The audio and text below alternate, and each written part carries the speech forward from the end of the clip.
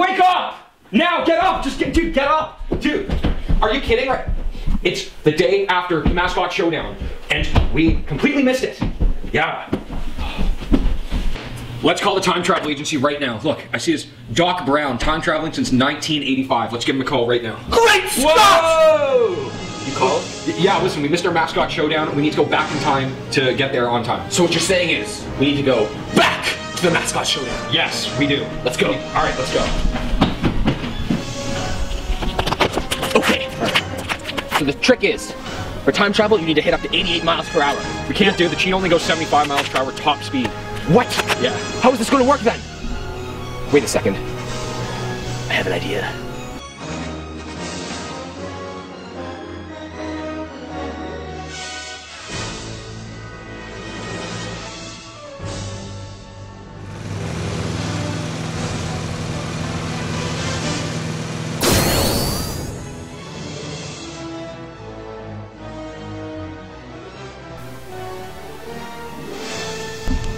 Great Scott! It worked! Dude, thank you so much, man. You saved our school. That is my area of expertise.